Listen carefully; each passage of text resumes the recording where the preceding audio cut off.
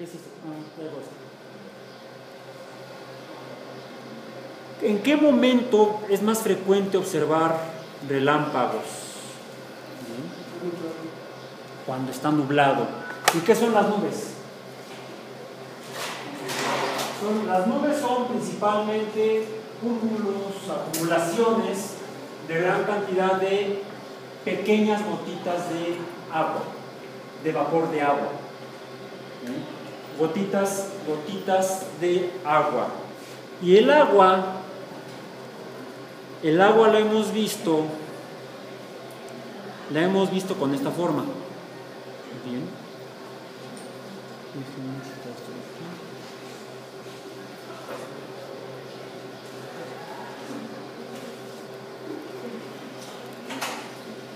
Sí, ok.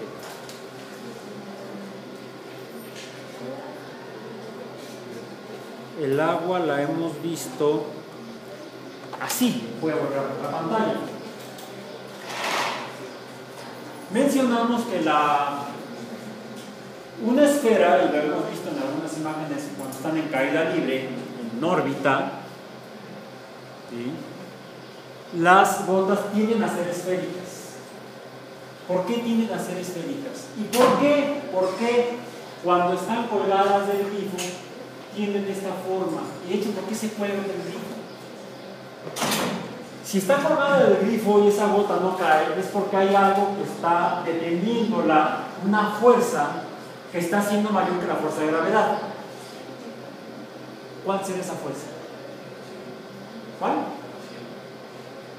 La tensión superficial. La agua no le llamamos tensión superficial, le llamamos adhesión, pero ¿podrían encontrar alguna otra explicación para esa misma fuerza de adhesión o... Los puentes de hidrógeno que se forman en los de. ¿Y qué son los puentes de hidrógeno? ¿Eh? Reacciones eléctricas. Atracciones eléctricas, atracciones electrostáticas entre cargas eléctricas fijas, que están, bueno, fijas que están en materiales de manera casi fija. Efectivamente, lo que mantiene a una al agua una forma esférica, lo que la mantiene cuando no hay una fuerza mayor, porque de hecho, si dejamos caer esta gota y dejamos que caiga a una gran distancia y logramos ver su forma, vamos a poder apreciar que una gota de agua tendría en ese caso, ya me acabo, se me acaba esta. Tendría probablemente esta forma que voy a tomar. Tendría esa forma. ¿Por qué cuando una gota cae en la tierra a través del aire, por qué llega a pasar de esta forma a esta? Porque está cayendo a través del aire y el aire está ejerciendo fuerza en esta superficie y la va aplastando y el agua como es eh, flexible, vamos a decir, se va deformando porque el aire va pasando por aquí. Entonces, si no hubiera aire, una gota caer tendría forma perfectamente esférica. Aún así, hay algo que mantiene esta forma lisa en la superficie de la gota de agua, que la mantiene cuando no hay estas fuerzas de fricción o fuerzas gravitatorias, la mantiene como esférica. ¿Cuáles son esas fuerzas? Esas fuerzas son las fuerzas de unión entre las moléculas de agua que ustedes ya las han visto, se las han mencionado, como los puentes hidrógeno, que son fuerzas electrostáticas debidas a que cada elemento químico, dependiendo de su, composición atómica, va a tener propiedades eléctricas un poco diferentes. Va a haber elementos químicos que van a ser un poco más positivos que negativos va a haber elementos químicos que van a ser un poco más negativos que positivos. Y si tenemos un elemento que es más positivo que negativo y otro más que es más negativo positivo, ¿qué puede suceder entre ellos? Que igual que la lana y el globo se atraigan. Ya en alguna ocasión les eh, encargué que revisaran la forma del cloruro de sodio de los cristalitos de sal de cocina. ¿Qué forma vieron que tenía? Cúbica. ¿Cómo es el cloruro de sodio? Está formado por cloro y está formado por sodio. El sodio es un metal alcalino, pero es un metal. El cloro no es un metal. El aluminio es un metal. El carbono no es un metal. O es un, diríamos en química es un no metal, no metal. Tenemos que tener en la tabla periódica en general dos grandes grupos de elementos químicos, los metales y los. También tenemos ahí los metaloides, buenos que no se deciden si son o no son. Bueno, no. los elementos químicos son realmente un tanto complejos desde un punto de vista físico. Tenemos, tendríamos que ver la estructura atómica en detallado. Pero en términos generales, podemos ver que la materia tiene propiedades eléctricas. Algunos son más positivos y otros son más negativos. Si el sodio es un metal y el cloruro, o el cloro, el cloro es un no metal, podríamos suponer que se parecen a otros materiales que ya conocimos ahorita, que experimentamos con ellos y que los caracterizamos eléctricamente. El aluminio es un metal y es, se comporta de manera vítrea, diríamos, de acuerdo a los antiguos electricistas, o con carga positiva. Mientras que el carbono, lo que está hecho el látex, es resinoso o negativo.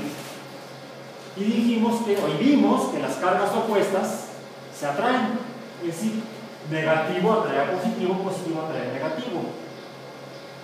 Si el sodio es un metal, ¿cuál sería su carga eléctrica? Positiva. Si el sodio es un metal, ¿cuál sería su carga eléctrica?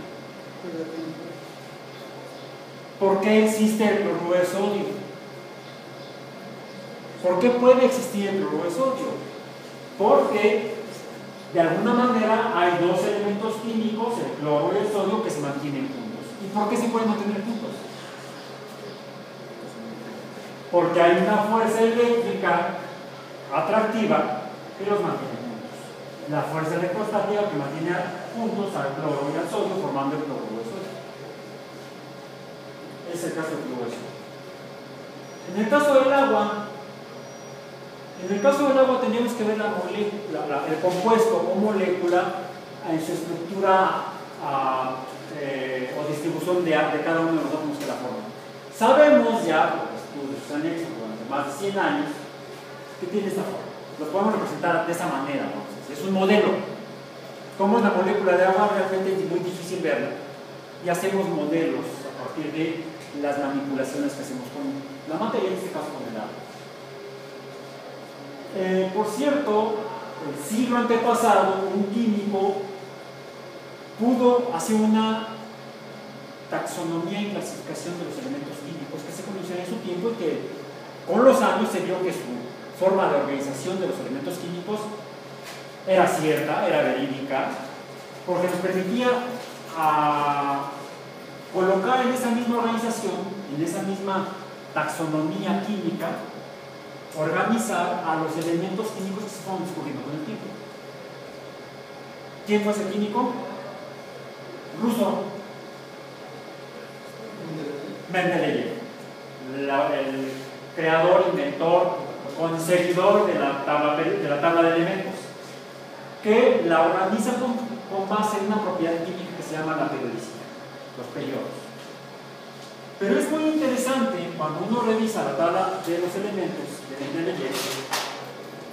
porque resulta que finalmente esa organización obedece a estos mismos principios eléctricos.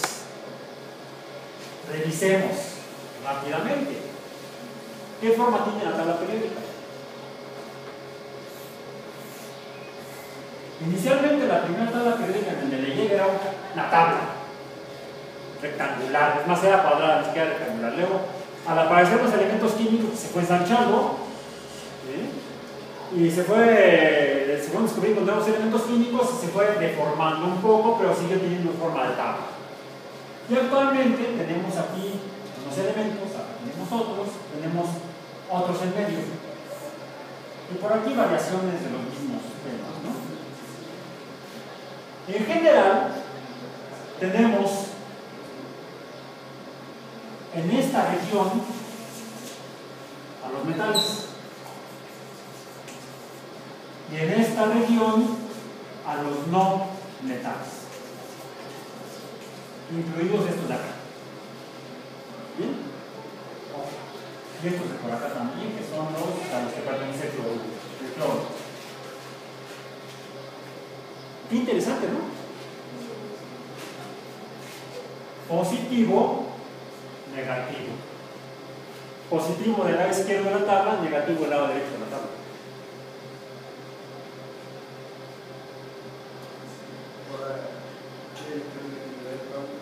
Ah, bueno. Luego, con el tiempo, descubrimos que los elementos químicos atraen por fuerzas eléctricas, que de hecho su estructura íntima, la estructura del átomo, está formada por cosas con carga eléctrica. Vamos a profundizar la próxima clase. Vamos a echarnos un clavado a profundidad, vamos a bucear a profundidad en la estructura de la materia con una visión eléctrica, física. En la tabla periódica, ¿dónde está el hidrógeno? Bueno, por periodos está acá. ¿Y el oxígeno? Está aquí. ¿Bien? Sin embargo, por la relación entre cargas eléctricas y cómo se comporta cada elemento químico, el hidrógeno debería estar como por acá. Ahorita les voy a explicar a, para que quiten esa cara de ¿cómo? ya, me pasó lo mismo cuando yo me enteré. Se puso una cara. ¿Eh? cara de incógnita, cara de signo. Esa propiedad es una que estudió luego un eh, químico que yo admiro mucho. Eh, fue, de hecho, fue tan importante lo que fue descubriendo en su trayectoria como químico, que además por uno de, los, sus descubrimientos dio el premio Nobel de Química. El premio Nobel en Química, a Linus Pauling. También fue revolucionario, también fue activista social, eh, pro de la paz mundial, y por eso dio más adelante, en el tiempo, le dio el premio Nobel de, la Paz. Eh, bueno, una de las tantas cosas que estudió Linus Pauling fue el cómo se unen los átomos para formar compuestos, por ejemplo moléculas, y se dio cuenta que la unión dependía de las cargas eléctricas de los elementos. Y eh, eso depende de su estructura atómica, y dependiendo de su estructura atómica, esta distribución de cargas se le llama electronegatividad.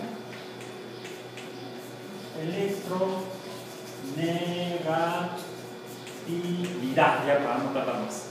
La electronegatividad. La electronegatividad es diferente en cada elemento químico. Y también se puede acomodar en la tabla periódica. Los elementos más electronegativos están del lado derecho. Los elementos menos electronegativos están del lado izquierdo. Se le, de hecho se les llama electropositivos también. Y la electronegatividad también varía en sentido vertical. Ahorita va a sonar medio, raro, hacia arriba. La pregunta sería ¿por qué? Luego la contestamos. Son más electronegativos los de arriba que los de abajo.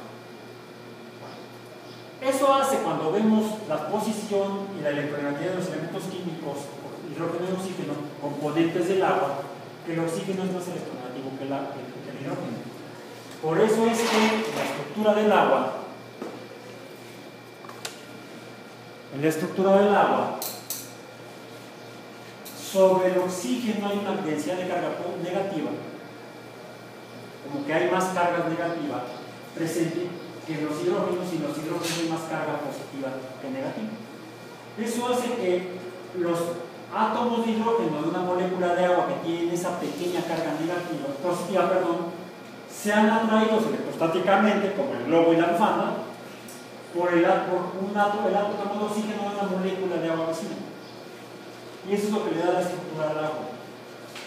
Tanto en la parte central de la gota, como en lo que mantiene juntas a las moléculas de agua entre sí. En la superficie de ese conjunto de moléculas de agua. Sean en una gota esférica o en la superficie de un cuerpo de agua, en una cubeta con agua, lo que mantiene al agua junta entre sí es esa fuerza electrostática.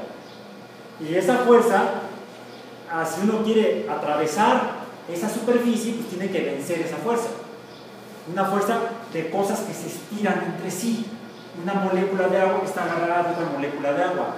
Por eso es que le llamamos tensión superficial. En realidad son fuerzas electrostáticas nada más, de sencillas. Y cuando tenemos a un montón de junta, eh, de agua juntas, pues se juntan todas, dándole esa forma esférica. Ahora, ¿por qué la gota se cuelga? Déjenme si ya me, ya me perdí de la gota. Ya no la tengo aquí, no la tengo acá. Acá. Normalmente, ¿de qué son los grifos? Son metálicos.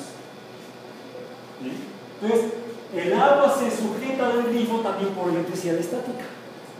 Hasta que la masa de agua es tan grande que la atracción gravitatoria es mayor que la fuerza, la fuerza eléctrica. Y entonces la gota gravita y cae del grifo. Cuando caen las gotas, se van friccionando con el aire. Si se van friccionando con el aire que las va rozando, ¿qué va sucediendo? Se van cargando electrostáticamente. Y eso genera precisamente que haya una división de cargas, como sucede en el caso de el suéter y la pared o el generador de Van der Graaf que hizo Don Petit y su dedo.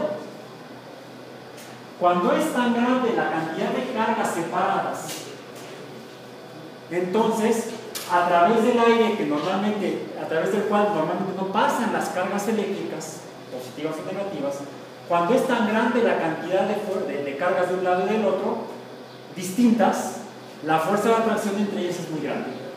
Y entonces se producen no es aquí, déjenme quitar esto de acá, se producen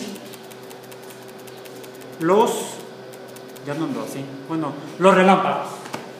Los relámpagos, de hecho, son precisamente el producto de la generación de una gran separación de cargas eléctricas negativas y positivas entre materiales distintos. ¿Por qué a veces entonces se producen entre el, la nube y el suelo? Porque en la nube tenemos muchas gotas de agua muy pequeñas frotándose unas contra otras. Están generando cargas que son diferentes a la carga del suelo, de la tierra. Y entonces a través del aire pasan esas cargas. Pasan tan rápido y con una gran cantidad de fuerza eléctrica que a su vez pasan esa carga eléctrica a las moléculas del aire. Y eso es lo que provoca que liberen esa gran cantidad de energía y la absorban las moléculas del aire a grado tal que emiten luz. Se calientan y emiten luz. Se calientan mucho, emiten mucha cantidad de calor y eso provoca la dilatación del aire de manera violenta. ¿Qué sucede cuando el aire se, se dilata de manera violenta? Eso fue un relámpago. ¿Qué sucede? ¿Cómo se llama? Explosión. El aire literalmente explota cuando se calienta, cuando se producen los rayos. Y es una forma en la cual la electricidad se conduce en un medio que normalmente no lo conduce. Los medios que normalmente no conducen la electricidad son aislantes. ¿Ustedes qué usaron para pasar la electricidad de la regla al aluminio del electroscópico? un alambrito de cobre, metal. Hay materiales que sí permiten el paso de las cargas eléctricas. Esos serían los conductores. Y el comportamiento de conductores y aislantes para el movimiento de cargas eléctricas lo vamos a revisar en la próxima clase. Se llama conductividad eléctrica.